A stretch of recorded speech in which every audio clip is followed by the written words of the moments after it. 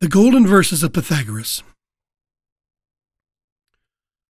Although no original writings of Pythagoras have survived antiquity, this collection of 71 aphorisms is mentioned by Hierocles of Alexandria in the 5th century of our era. From internal evidence, some scholars believe that they come from a hexameter poem by Pythagoras, which was transmitted orally until persecution scattered the Pythagoreans and they were then committed to writing. The present edition is an original translation by Florence M. Firth, adapted here for modern readers. First, worship the immortal gods as they are established and ordained by the law. Reverence the oath, and next the heroes, full of goodness and light. Honor likewise the terrestrial guiding spirits by rendering them the worship lawfully due to them. Honor likewise your parents and those most nearly related to you. Of all the rest of humanity, make friends with those who distinguish themselves by their virtue. Always give ear to their mild exhortations, and take example from their virtuous and useful actions. Avoid as much as possible hating your friend for a slight fault, and understand that power is a near neighbor to necessity. Know that all things are as I have told you, and accustom yourself to overcome and vanquish the following passions. First, gluttony, sloth, sensuality, and anger. Do nothing evil, neither in the presence of others nor privately, but above all things respect yourself. In the next place, observe justice in your actions and in your words, and do not involve yourself in anything without rule or reason, but always realize that it is ordained by destiny that all human beings shall die, and that the goods of fortune are uncertain, and that as they may be acquired, so may they likewise be lost.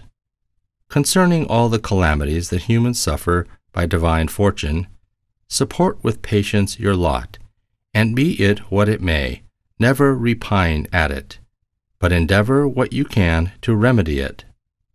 And consider that fate does not send the greatest portion of these misfortunes to good people. There are many possibilities that people can choose from, both good and bad. So from among the possibilities carefully choose the best path for yourself. But if falsehoods be advanced, hear them with mildness, and arm yourself with patience. Observe well, on every occasion, what I am going to tell you. Let no person, either through words or deeds, ever seduce you, nor entice you to say or to do what is not beneficial for yourself. Consult and deliberate before you act, that you may not commit foolish actions, for it is the mark of a miserable person to speak and to act without reflection but do that which will not afflict you afterwards, nor oblige you to repentance. Never do anything which you do not understand. Learn all that you ought to know, and thus you will lead a very pleasant life. In no way neglect the health of your body. Give it drink and food in due measure, and also the exercise of which it has need. Now, by measure, I mean what will not inconvenience you. Accustom yourself to a way of living that is neat and decent without luxury. Avoid all things that will occasion envy, and be not prodigal out of season, like one who knows not what is decent and honorable. Be neither covetous nor stingy. A modest measure is excellent in these things. Do only that which will not hurt you, and think carefully about what you are going to do before you do it.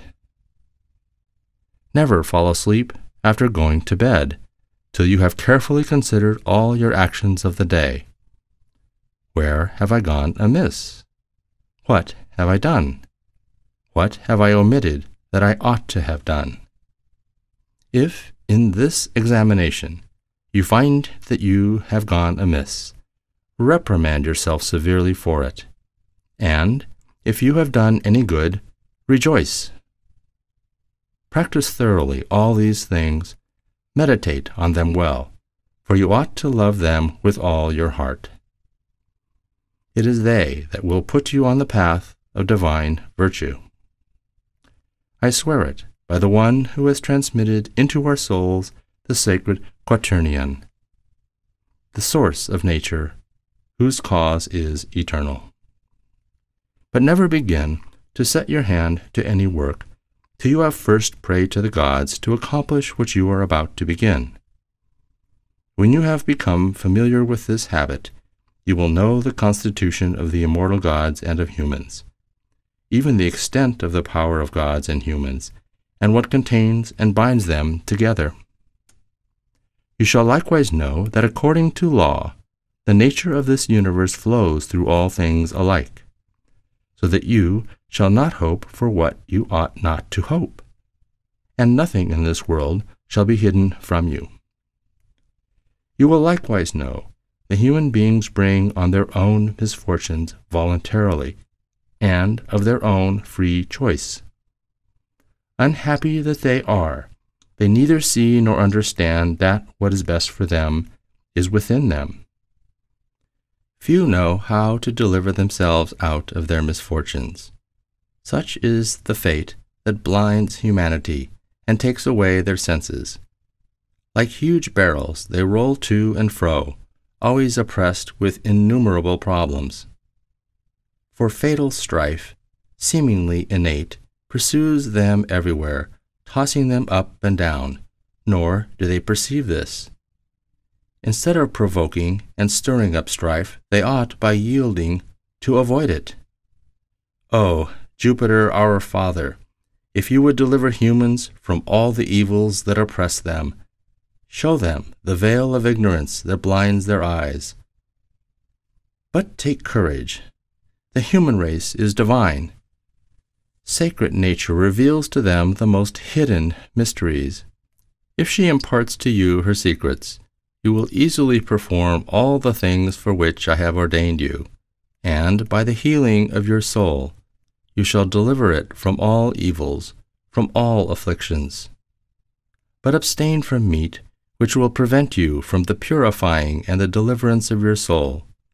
Carefully distinguish between things, and examine all things well, leaving yourself to always be guided and directed by the understanding that comes from above, allowing it to control your destiny.